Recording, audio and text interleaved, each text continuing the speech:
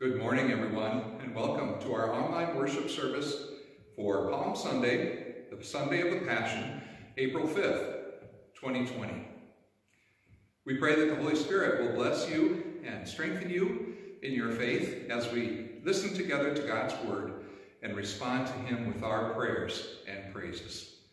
Let's begin our worship service with the procession of palms. The grace of our Lord Jesus Christ, and the love of God, and the communion of the Holy Spirit be with you all. Amen. Blessed is he who comes in the name of the Lord. Hosanna to the Son of David. Let us pray. Most merciful God, as the people of Jerusalem, with palms in their hands, gathered to greet your dearly, dearly beloved Son when he came into his holy city, grant that we may ever hail him as our King and when he comes again, may we go forth to meet him with trusting and steadfast hearts, and follow him in the way that leads to eternal life. Through the same Jesus Christ our Lord, who lives and reigns with you and the Holy Spirit, one God, now and forever. Amen. The Holy Gospel according to St. John, the 12th chapter. Glory to you, O Lord. The next day, the large crowd that had come to the feast heard that Jesus was coming to Jerusalem. So they took branches of palm trees and went out to meet him, crying out, Hosanna! Blessed is he who comes in the name of the Lord, even the King of Israel. And Jesus found a young donkey and sat on it, just as it is written, Fear not, daughter of Zion. Behold, your king is coming, sitting on a donkey's colt. His disciples did not understand these things at first, but when Jesus was glorified, then they remembered that these things had been written about him and had been done to him. The crowd that had been with him when he called Lazarus out of the tomb and raised him from the dead continued to bear witness. The reason why the crowd went out to meet him was that they had heard that he had done this sign. So the Pharisees said to one another, You see that we are gaining nothing. Look, the world has gone after him. This is the gospel of the Lord. Praise to you, O Christ. Let us go forth in peace in the name of the Lord.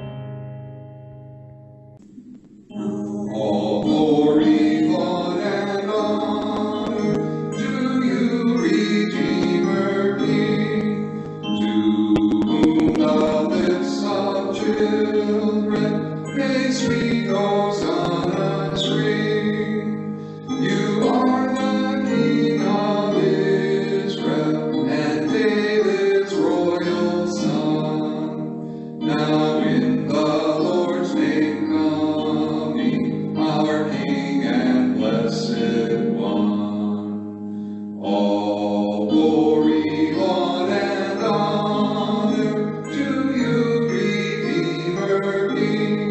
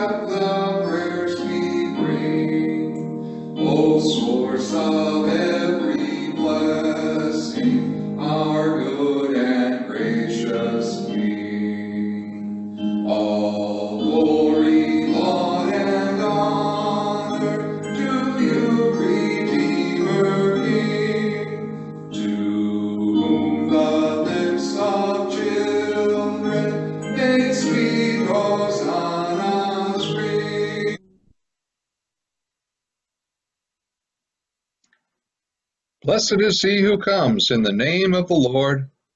Hosanna in the highest.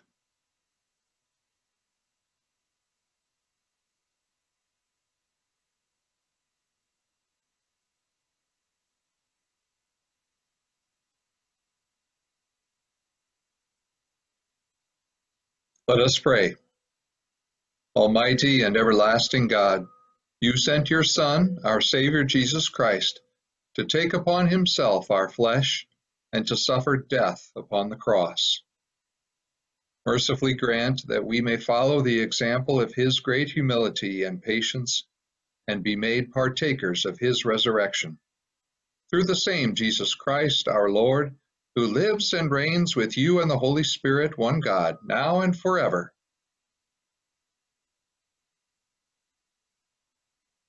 Let's share the peace of the Lord with one another. Whoever you're with today, share the peace of God, the peace of Christ with each other in your homes.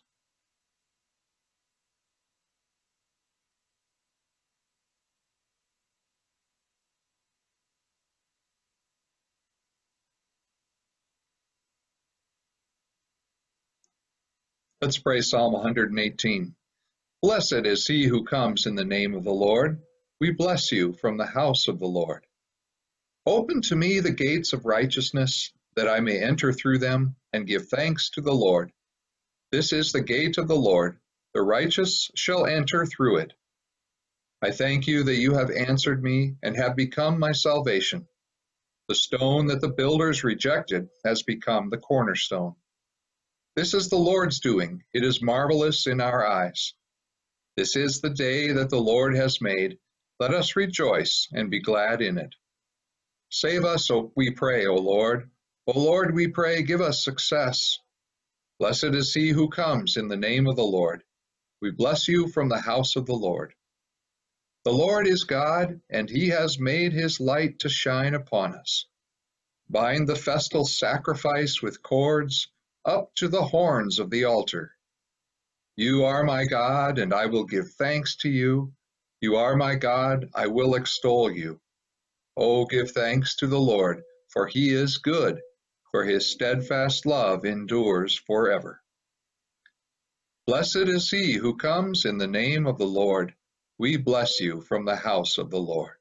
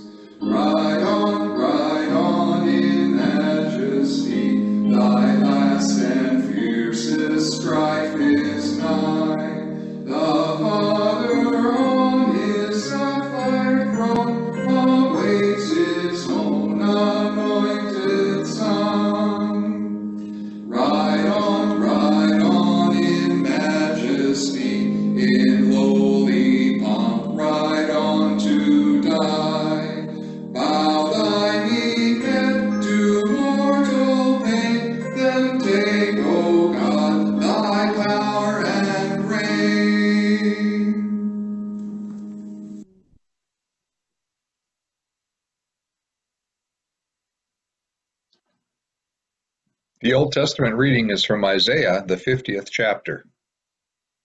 The Lord God has given me the tongue of those who are taught, that I may know how to sustain with a word him who is weary. Morning by morning he awakens, he awakens my ear to hear as those who are taught. The Lord God has opened my ear, and I was not rebellious. I turned not backward. I gave my back to those who strike, and my cheeks to those who pull out the beard. I hid not my face from disgrace and spitting. But the Lord God helps me, therefore I have not been disgraced. Therefore I have set my face like a flint, and I know that I shall not be put to shame.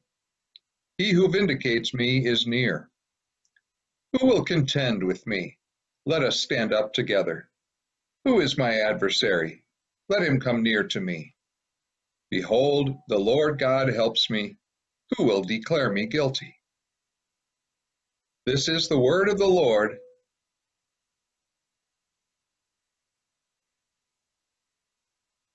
The epistle is from Philippians, the second chapter. Have this mind among yourselves, which is yours in Christ Jesus, who, though he was in the form of God, did not count equality with God a thing to be grasped, but made himself nothing, taking the form of a servant, being born in the likeness of men. And being found in human form, he humbled himself by becoming obedient to the point of death, even death on a cross. Therefore, God has highly exalted him and bestowed on him the name that is above every name so that at the name of Jesus every knee should bow in heaven and on earth and under the earth, and every tongue confess that Jesus Christ is Lord, to the glory of God the Father. This is the word of the Lord.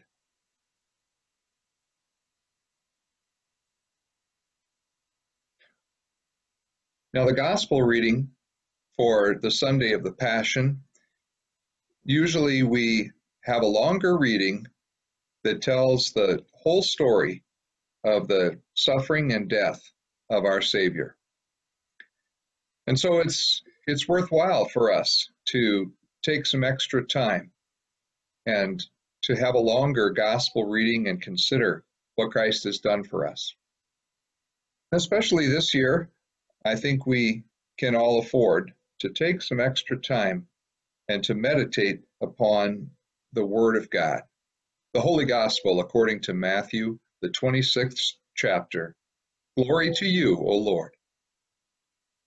When Jesus had finished all these sayings, he said to his disciples, You know that after two days the Passover is coming, and the Son of Man will be delivered up to be crucified.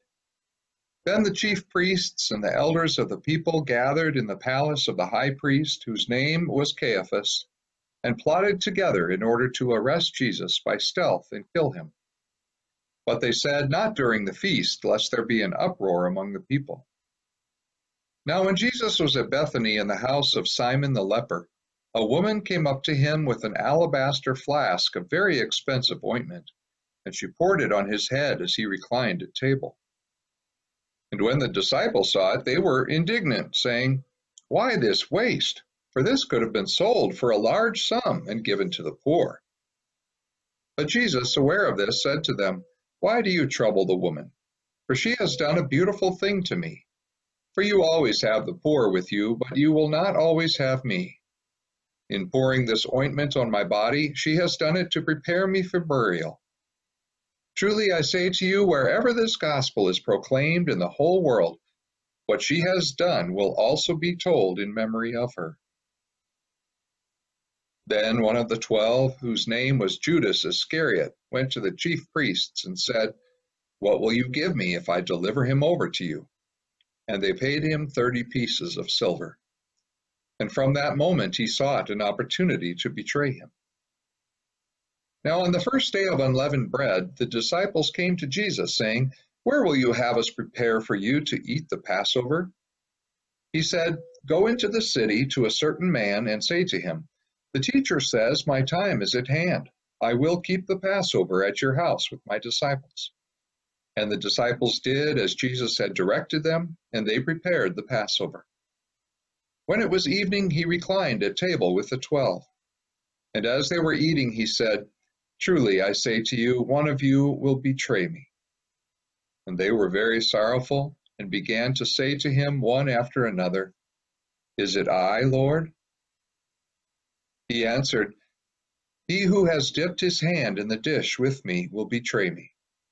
The Son of Man goes as it is written of him. But woe to that man by whom the Son of Man is betrayed. It would have been better for that man if he had not been born. Judas, who would betray him, answered, Is it I, Rabbi? He said to him, You have said so.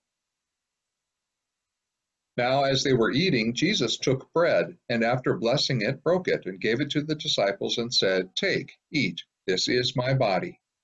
And he took a cup, and when he had given thanks, he gave it to them, saying, Drink of it, all of you, for this is my blood of the covenant, which is poured out for many for the forgiveness of sins. I tell you, I will not drink again of this fruit of the vine until that day when I drink it new with you in my Father's kingdom. And when they had sung a hymn, they went out to the Mount of Olives.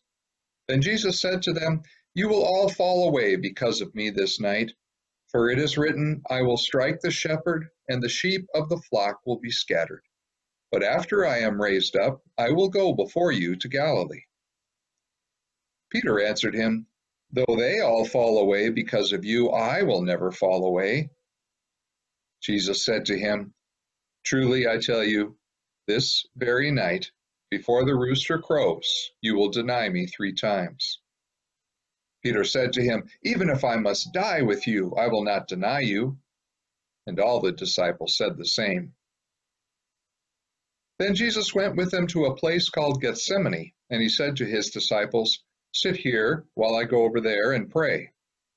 And taking with him Peter and the two sons of Zebedee, he began to be sorrowful and troubled. Then he said to them, My soul is very sorrowful, even to death. Remain here and watch with me. And going a little farther, he fell on his face and prayed, saying, My Father, if it be possible, let this cup pass from me. Nevertheless, not as I will, but as you will. And he came to the disciples and found them sleeping. And he said to Peter, So, could you not watch with me one hour? Watch and pray that you may not enter into temptation. The spirit indeed is willing, but the flesh is weak. Again, for the second time, he went away and prayed, My Father, if this cannot pass unless I drink it, your will be done. And again he came and found them sleeping, for their eyes were heavy. So, leaving them again, he went away and prayed for the third time, saying the same words again. Then he came to the disciples and said to them, Sleep and take your rest later on. See, the hour is at hand and the Son of Man is betrayed into the hands of sinners. Rise, let us be going. See, my betrayer is at hand. While he was still speaking, Judas came, one of the twelve, and with him a great crowd with swords and clubs from the chief priests and the elders of the people. Now the betrayer had given them a sign, saying, The one I will kiss is the man, seize him. And he came up to Jesus at once and said, Greetings, Rabbi and he kissed him. Jesus said to him, Friend, do what you came to do. Then they came up and laid hands on Jesus and seized him. And behold, one of those who were with Jesus stretched out his hand and drew his sword and struck the servant of the high priest and cut off his ear. Then Jesus said to him, Put your sword back into its place, for all who take the sword will perish by the sword. Do you think that I cannot appeal to my Father, and he will at once send me more than twelve legions of angels? But how then should the Scriptures be fulfilled, that it must be so? At that hour Jesus said to the crowds, Have you come out as against a robber, with swords and clubs to capture me? Day after day I sat in the temple teaching, and you did not seize me. But all this has taken place that the scriptures of the prophets might be fulfilled. Then all the disciples left him and fled. Then those who had seized Jesus led him up to Caiaphas the high priest, where the scribes and the elders had gathered. And Peter was following him at a distance, as far as the courtyard of the high priest, and going inside he sat with the guards to see the end. Now the chief priests and the whole council were seeking false testimony against Jesus that they might put him to death, but they found none, though many false witnesses came forward. At last two came forward and said, This man said, I am able to destroy the temple of God and to rebuild it in three days. And the high priest stood up and said, Have you no answer to make? What is it that these men testify against you? But Jesus remained silent. And the high priest said to him, I adjure you by the living God, tell us if you are the Christ, the Son of God. Jesus said to him, you have said so. But I tell you, from now on you will see the Son of Man seated at the right hand of power and coming on the clouds of heaven. Then the high priest tore his robes and said, He has uttered blasphemy. What further witnesses do we need? You have now heard his blasphemy. What is your judgment? They answered, He deserves death. Then they spit in his face and struck him, and some slapped him, saying, Prophesy to us, you Christ. Who is it that struck you? Now Peter was sitting outside in the courtyard, and a servant girl came up to him and said, You also were with Jesus the Galilean. But he denied it before them all, saying, I do not know what you mean. And when he went out to the entrance, another servant girl saw him, and she said to the bystanders, This man was with Jesus of Nazareth. And again he denied it with an oath. I do not know the man. After a little while, the bystanders came up and said to Peter, Certainly you too are one of them, for your accent betrays you. Then he began to invoke a curse on himself and to swear, I do not know the man.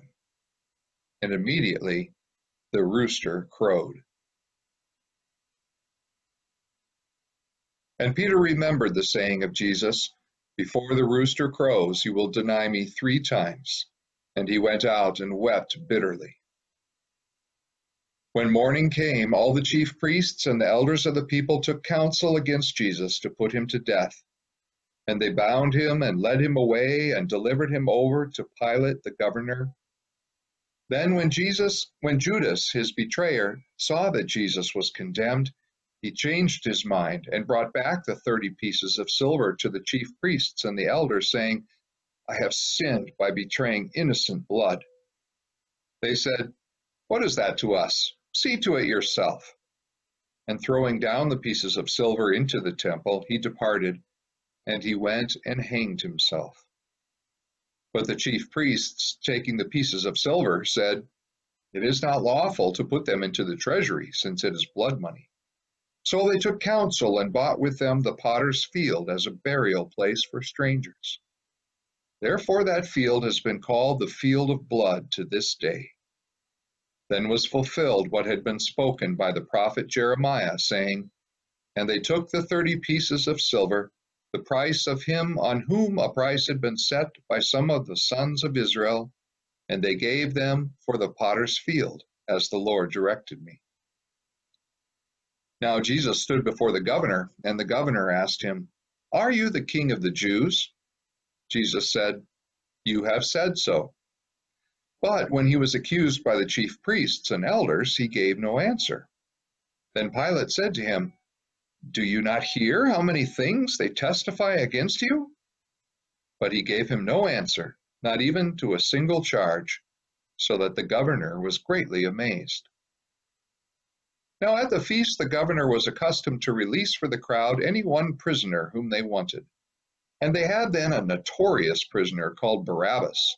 So when they had gathered, Pilate said to them, Whom do you want me to release for you, Barabbas or Jesus who is called Christ? For he knew that it was out of envy that they had delivered him up. Besides, while he was sitting on the judgment seat, his wife sent word to him, Have nothing to do with that righteous man for I have suffered much because of him today in a dream. Now the chief priests and the elders persuaded the crowd to ask for Barabbas and destroy Jesus.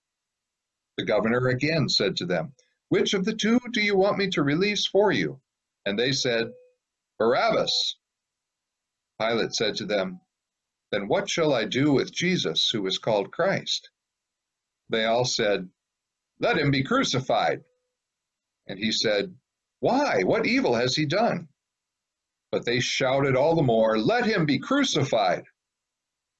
So when Pilate saw that he was gaining nothing, but rather that a riot was beginning, he took water and washed his hands before the crowd, saying, I am innocent of this man's blood. See to it yourselves. And all the people answered, His blood be on us and on our children. Then he released for them Barabbas, and having scourged Jesus, delivered him to be crucified. Then the soldiers of the governor took Jesus into the governor's headquarters, and they gathered the whole battalion before him. And they stripped him and put a scarlet robe on him, and twisting together a crown of thorns, they put it on his head, and put a reed in his right hand. And kneeling before him, they mocked him, saying, Hail, King of the Jews! And they spit on him, and took the reed and struck him on the head. And when they had mocked him, they stripped him of the robe and put his own clothes on him and led him away to crucify him. As they went out, they found a man of Cyrene, Simon by name. They compelled this man to carry his cross. And when they came to a place called Golgotha, which means place of a skull, they offered him wine to drink mixed with gall, but when he tasted it, he would not drink it. And when they had crucified him, they divided his garments among them by casting lots. Then they sat down and kept watch over him there. And over his head they put the charge against him, which read, This is Jesus, the King of the Jews. Then two robbers were crucified with him, one on the right and one on the left. And those who passed by derided him, wagging their heads and saying, you who would destroy the temple and rebuild it in three days, save yourself.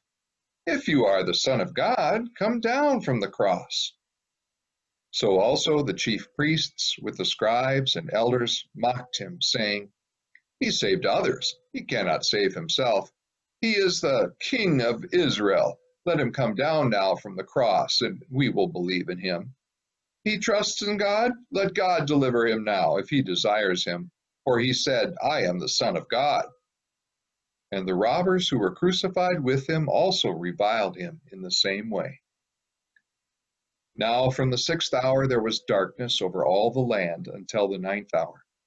And about the ninth hour Jesus cried out with a loud voice, saying, Eli, Eli, lema sabachthani. That is, My God, my God, why have you forsaken me? And some of the bystanders, hearing it, said, This man is calling Elijah. And one of them at once ran and took a sponge, filled it with sour wine, and put it on a reed and gave it to him to drink. But the others said, Wait, let us see whether Elijah will come to save him. And Jesus cried out again with a loud voice and yielded up his spirit.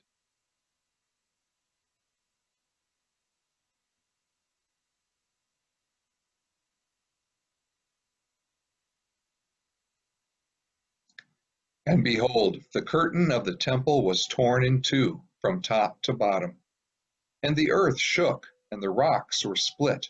The tombs also were opened.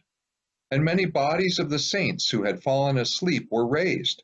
And coming out of the tombs, after his resurrection, they went into the holy city and appeared to many.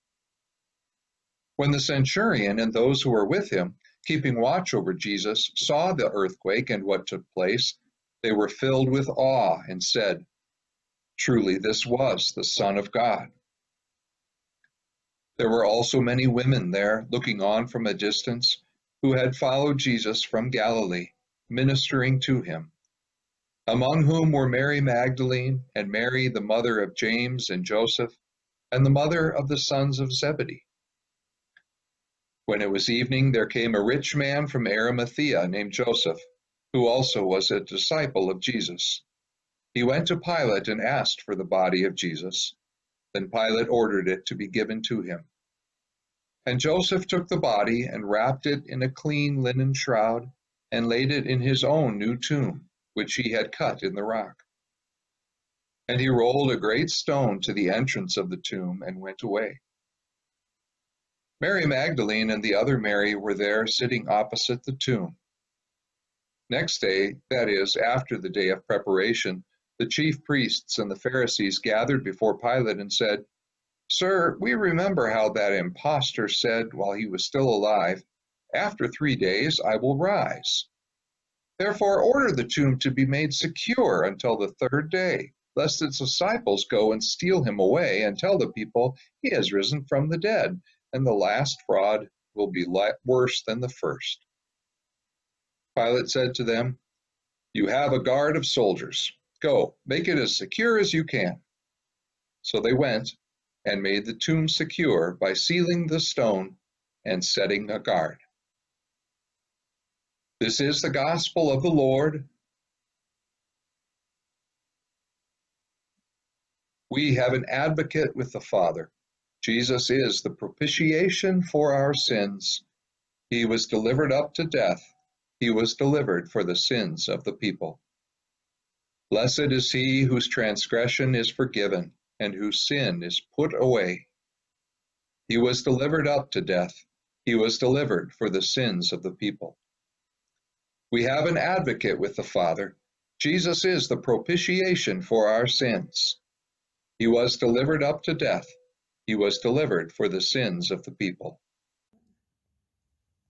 Okay, I want all the children to gather around now because we're going to have a children's message so whatever you're doing at home while you're watching this, I want you to put it aside for a minute and uh, listen up. Today, we are celebrating Palm Sunday, the day that Jesus came into Jerusalem, and all the people were so excited to see him there, to greet him, and they took palm branches and they waved them in the air, and they welcomed Jesus as he rode into Jerusalem as the king. And I want to read you a story today, and you can see on the cover of this book that it has a big crown, and so we know that it's about the story of King Jesus, and it's called Only God Would Have Planned It That Way. You know, some of us are feeling kind of scared and uncertain about what's happening in the world right now with this pandemic that's going on, with all the sickness that's going on. But we have to remember that God is still in control. He still has his plan, and he is in charge, and he's going to carry things out in a way that he knows is best. So this is a story about what happened right after Palm Sunday during what we call Passion Week. It was the week of the, the, the last week before Jesus died on the cross. If I would have planned out the Lord's Passion Week, the throngs would be gathered and autographs they'd seek. And there you are. Wouldn't it be fun to ask Jesus for his autograph? But the fickleish crowds would become a mad fray. You see, only God would have planned it that way. Later on in the week, the people became angry with Jesus and they wanted him to be crucified. If I would have planned how a conqueror would ride, I'd saddle a stallion with a big haughty stride. Did Jesus come into Jerusalem wearing armor? No, he didn't. He came in gentle and meek. Yet he hopped upon a small colt that spring day. You see, only God would have planned it that way. And there's the people greeting him with their palm branches.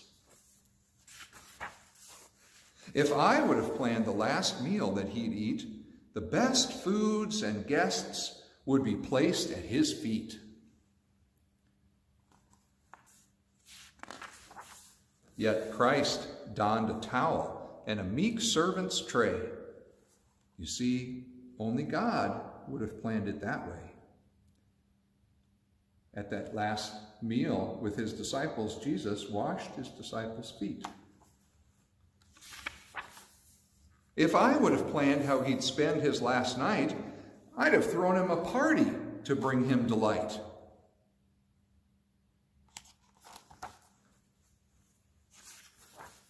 But he wept alone.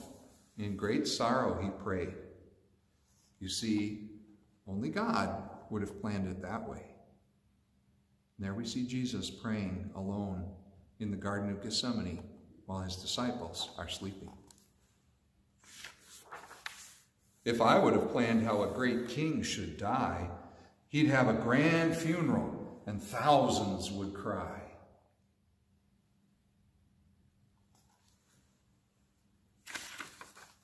But he hung on a cross on a day dark and gray. You see, only God would have planned it that way.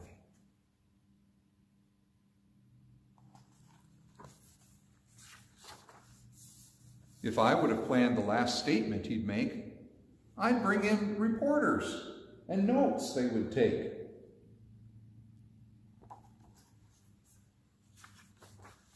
But it is finished were the last words he'd say.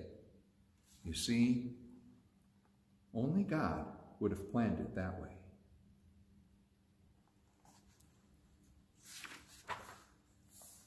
If I would have planned God's great love plan for me, I would not have sent Christ to die on that tree.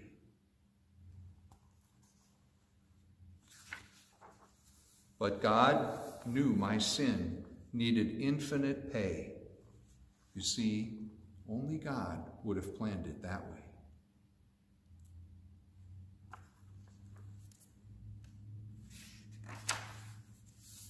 If I would have planned how Messiah would save, he would not spend three days closed up in the grave.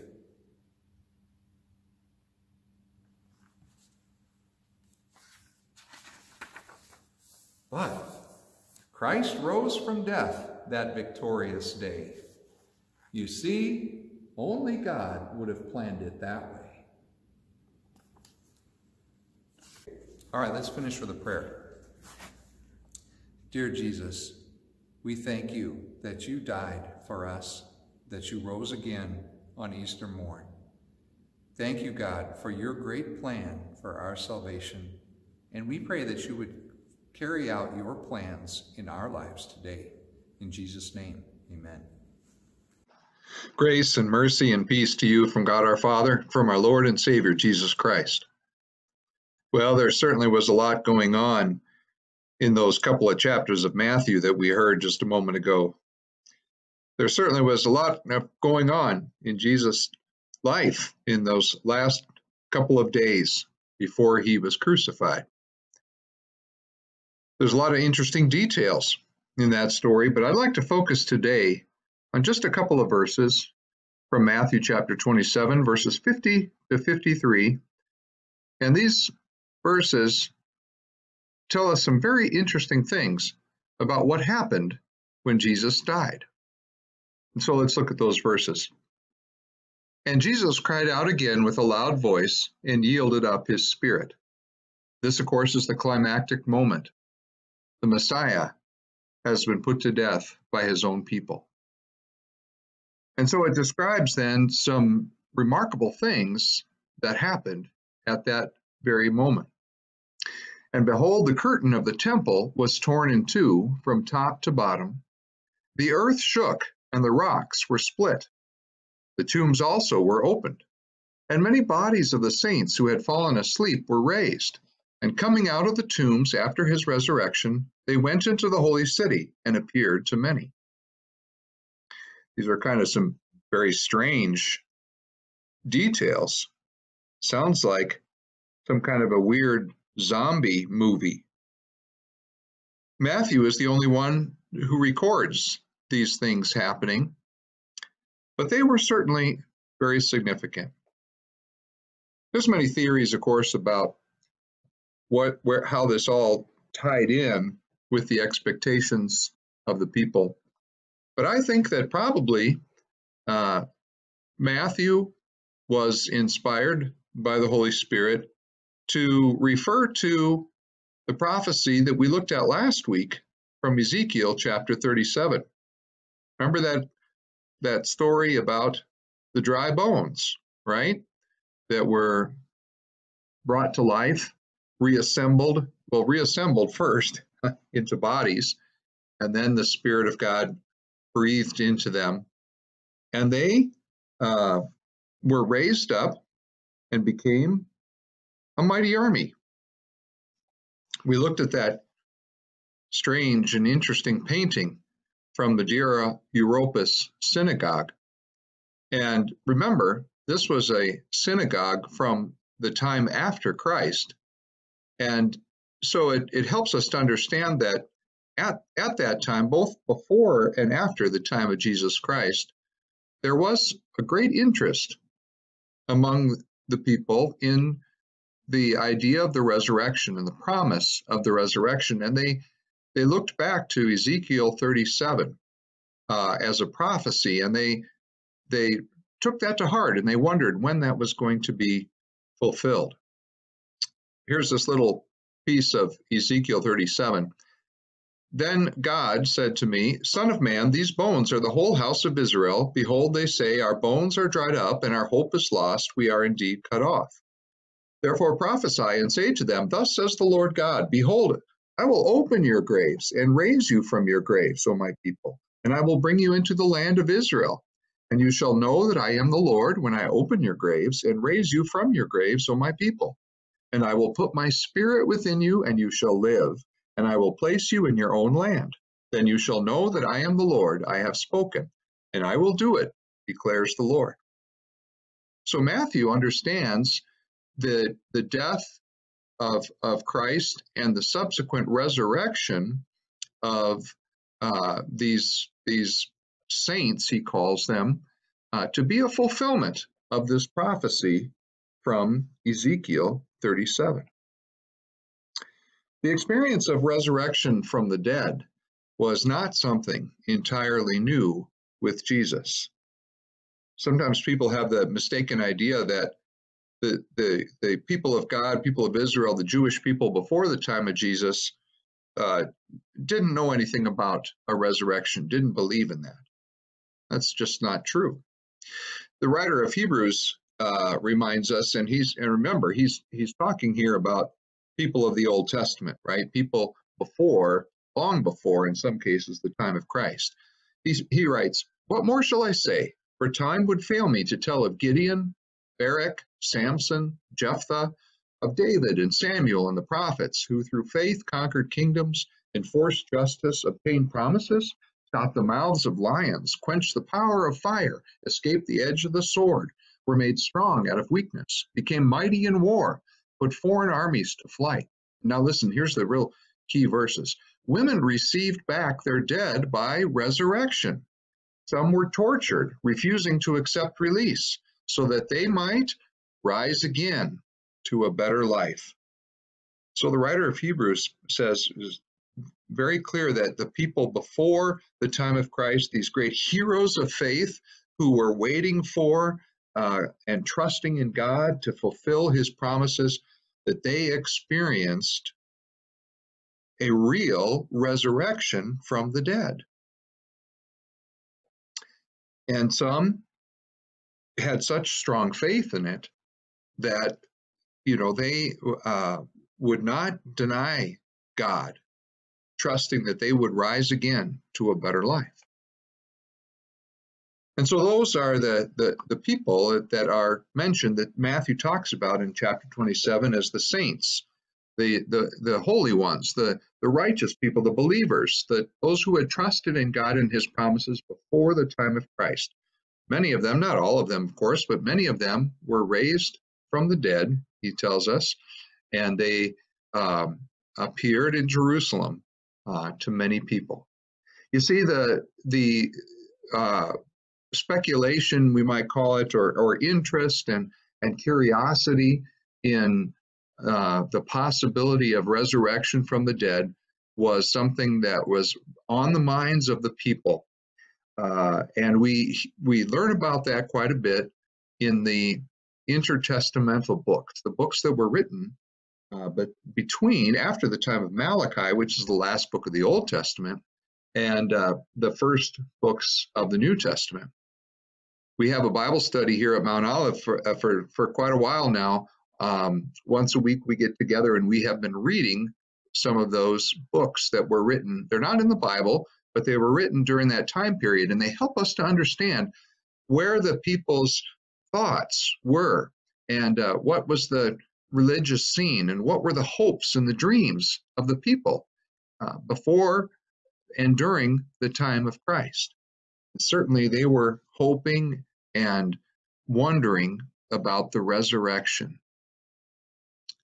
Following Jesus' resurrection, we hear of other miraculous resurrections. Uh, you can look those up in Acts 9 and Acts 24. Um, Jesus gave his apostles the power to raise others from death. But the power that Jesus gave his apostles to raise the dead, we have to understand that served a far greater purpose. It was for the purpose of pointing to the new life that is given to those who hear and believe the saving gospel. So just as uh, Jesus' miracles, or John, the gospel writer, calls them his signs, because they were pointing to something far greater. Jesus wasn't just a miracle worker, some kind of a magician, and he didn't make his apostles uh, that either, but rather in his miracles that he performed during his time on earth and the miracles that were performed by the apostles after him had this greater purpose of pointing to the new life that is given to those who hear and believe the saving gospel. Here's a, the question for us now Can we expect to have an actual a real, a historical experience of resurrection from the dead even now? I think the answer is a very definite yes. And why do I say that? Well, consider the following passages Ephesians chapter 2. God, being rich in mercy, because of the great love with which he loved us, even when we were dead in our trespasses, made us alive together with Christ. By grace you have been saved, and raised us up with him, and seated us with him in the heavenly places in Christ Jesus. St. Paul, by the inspiration of the Holy Spirit, here in his letter to the Ephesians, is talking about a, a very real experience of resurrection. You might say, oh, it was a spiritual resurrection, but it was more than that. It was a complete change in our condition, in our status, in our relationship with God and because of that, a, a, a different relationship with life and death. Colossians goes on to explain it this way having been buried with him in baptism, in which you were also raised with him through faith in the powerful working of God who raised him from the dead. And you who were dead in your trespasses and the uncircumcision of your flesh, God made alive together with him, having forgiven us all our trespasses. By canceling the record of debt that stood against us with its legal demands, this he set aside, nailing it to the cross. He disarmed the rulers and authorities and put them to open shame by triumphing over them in him. Now, I want you to read this. Let's let's look at this passage again a little more closely and kind of read it backwards, so to speak uh, because it because if we go to the to the end of this passage, you know, chronologically, it's really kind of the first thing that happened. So, in other words, in verse 15, it explains what it was that Jesus accomplished in his death on the cross. It says he disarmed the rulers and authorities and put them to open shame by triumphing over them in him. And when did this happen? This victory that God won? Well, it was on the cross. Look at the previous verse, verse 14. Canceling the record of debt that stood against us with its legal demands, this he set aside, nailing it to the cross. So something significant happened when Jesus died on the cross. Not only were our sins forgiven, but also the rulers and authorities, those any power, any and every power that was uh, opposed to God was uh, disarmed, was defeated.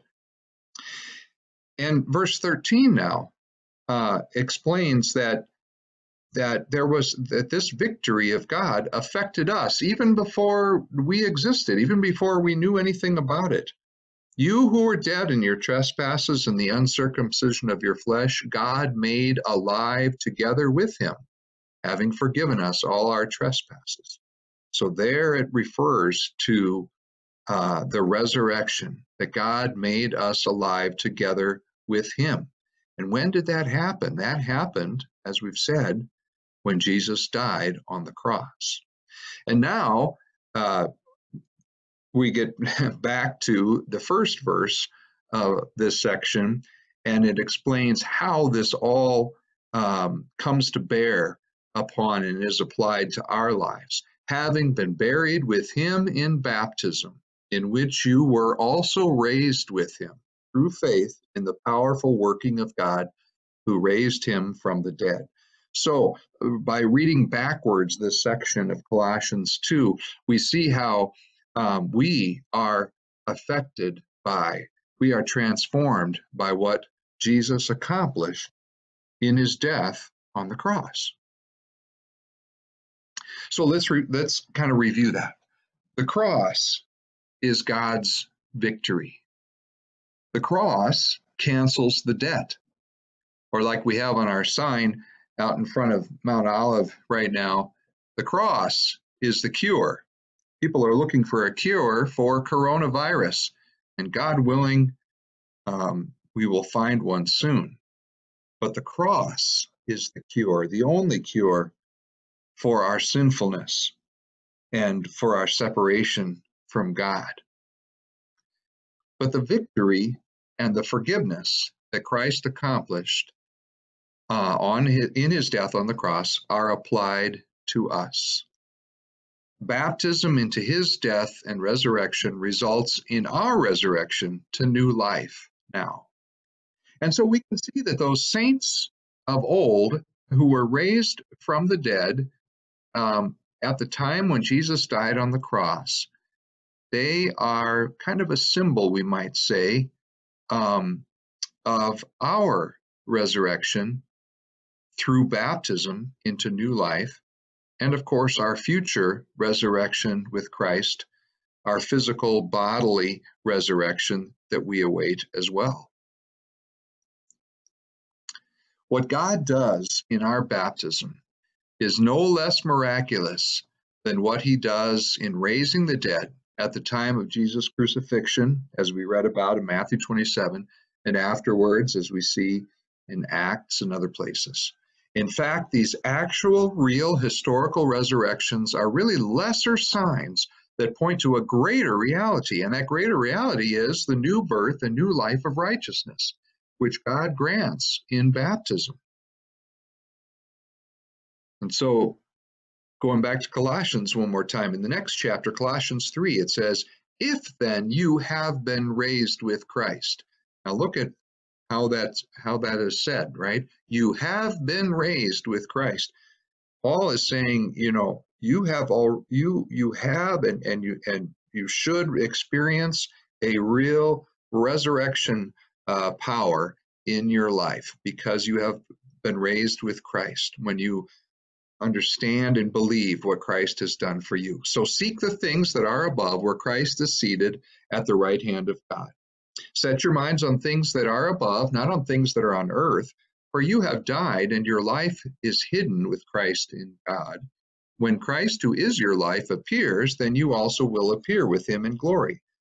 Put to death, therefore, what is earthly in you. And then he goes on for several verses and describes exactly what he's talking about. What are those things that we are that we put to death because we have been brought to life and raised uh, to new life with Christ. You can look those up and read the details for yourself. But then in, in verse 12, after talking about putting those wicked things to death, then he talks about the good things that, that we are to put on, the good things that are part of this resurrection life. Put on then as God's chosen ones, holy and beloved, compassionate hearts, kindness, humility, meekness, and patience, bearing with one another, and if one has a complaint against another, forgiving each other. As the Lord has forgiven you, so you also must forgive. And above all these, put on love, which binds everything together in perfect harmony. That's what it means to be raised with Christ to new life. This is our present, our real, our actual, our historical experience of death with Christ and resurrection with Christ. It happens in our baptism and it happens in our daily baptism as we daily die uh, to sin with Christ and are raised with Christ to new life. St. Paul talks about it this way, and this is, I hope and pray that this is your desire, that this is your prayer as well. In fact, let's say it together as a prayer, shall we? I want to know Christ and the power that raised him from the dead. I want to share in his sufferings and become like him in his death. Then I have hope that I myself will be raised from the dead. Dear friends, may the peace of God, which surpasses all our human understanding, keep your hearts and your minds in Christ Jesus to life everlasting. Amen.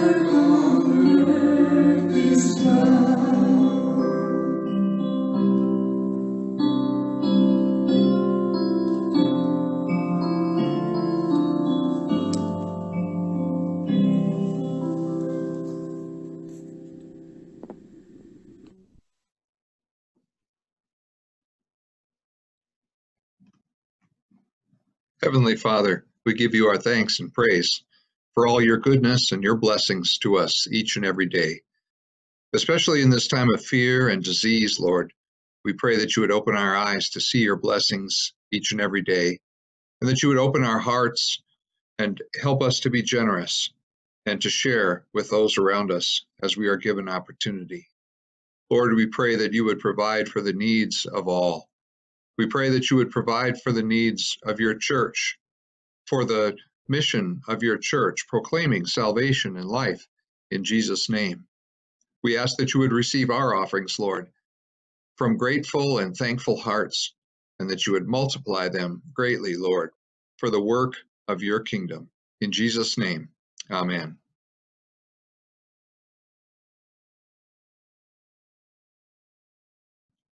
Let's pray together. Lord, have mercy. Christ, have mercy. Lord, have mercy. Our Father, who art in heaven, hallowed be thy name. Thy kingdom come, thy will be done on earth as it is in heaven. Give us this day our daily bread, and forgive us our trespasses, as we forgive those who trespass against us. And lead us not into temptation, but deliver us from evil. For thine is the kingdom, and the power, and the glory, forever and ever. Amen. The Lord be with you. Let us pray. Let us pray for the church, that the Lord would defend her against all her enemies and keep her true to Jesus Christ by the power of his word and spirit. Gracious Lord, Keep your scattered church in your mercy, that she may endure the assaults of the evil one and remain faithful for the sake of those numbered within your kingdom and those who have not yet heard the gospel and been brought to faith. Through Jesus Christ our Lord. Let us pray for all pastors, for all church work vocations, and for all the baptized in their vocation as God's people Almighty God, by your Spirit you have gathered us as your church and promise that wherever two or three are gathered in your name, there you are in our midst. Do not allow stress or disaster to distract us from the particular vocations into which you have called us to serve in the church, home, and community. Grant to us every gift and blessing needful, that we may honor our calling and serve you to the best of our ability. Through Jesus Christ our Lord,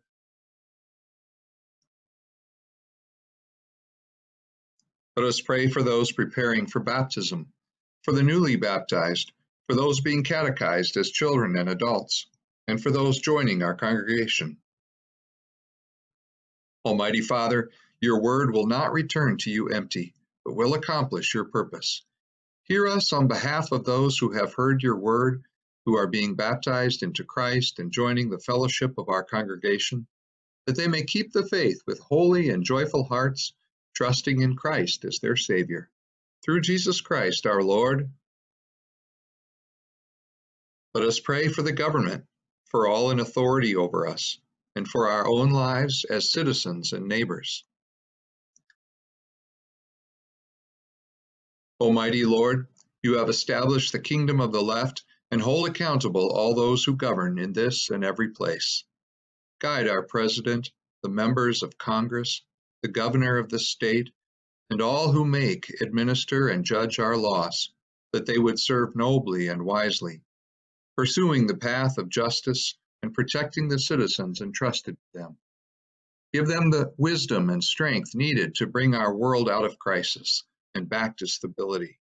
Through Jesus Christ our Lord. Let us pray for an end to violence and terror, for those imprisoned, for the troubled in mind, and for those who suffer any afflictions of the body. Merciful Lord, your grace is sufficient for all our needs, and you have promised to be the strength of the weary, the hope of those who fear, the healing of the ill, the fullness of those disabled, and the peace of all who are distressed. Hear us on behalf of our nation and the world suffering pandemic and isolation. We pray especially for all those whom we name before you now in our hearts.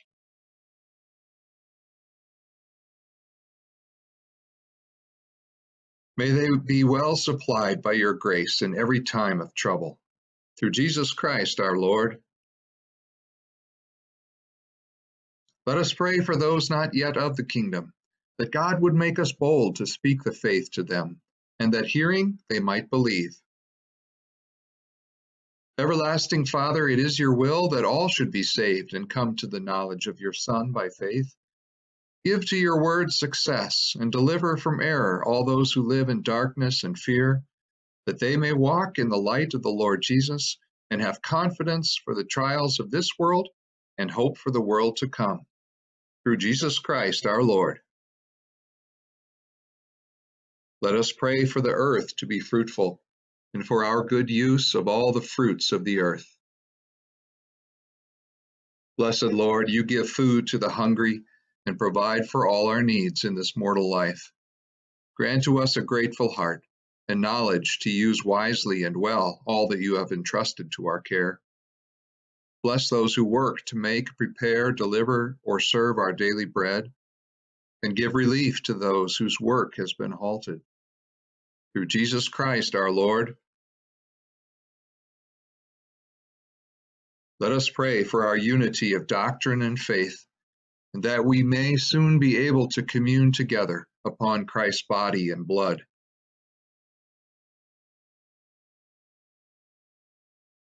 Holy Lord,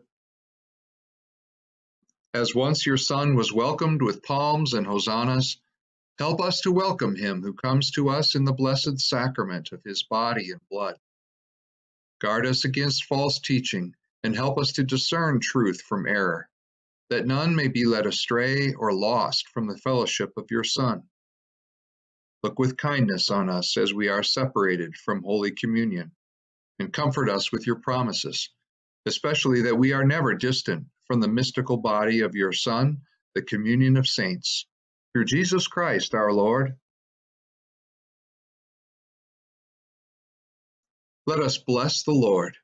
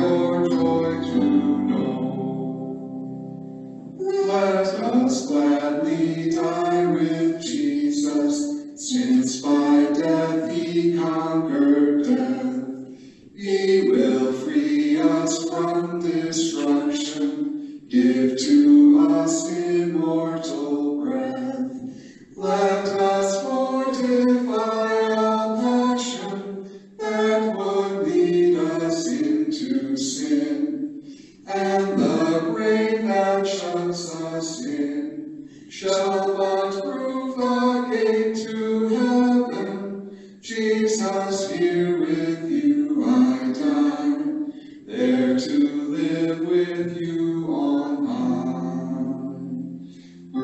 us also live with Jesus.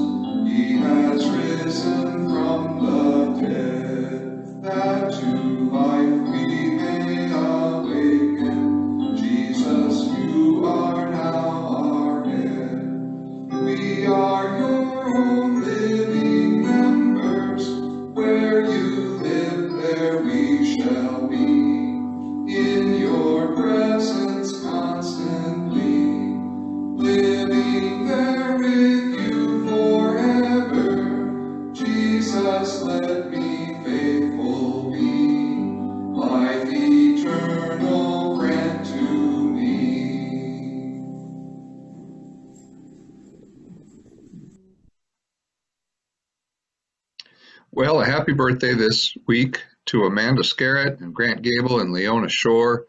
Many blessings uh, to all of you. We will uh, have our Holy Week services, uh, again, online services, Monday, Thursday. Um, it'll be the same service, but we'll uh, probably show it twice on Monday, Thursday, 10 a.m., and again at 7 p.m., Good Friday at 7 p.m. Our church directory, a, a revision of it is available, so stop by the office uh, for a copy. And uh, Lake Minnetonka Shores is looking for people to make masks, um, face masks. So if you're interested, uh, contact the church office here uh, for a pattern. Please uh, continue to keep in touch with each other and and uh, let us know um, here in the church office how we can um, how we can help, how we can pray for you, and um, please reach out to your to your neighbors. Uh, share the love of Christ with them any way you can. The grace of our Lord Jesus Christ and the love of God and the communion of the Holy Spirit be with you all. Amen.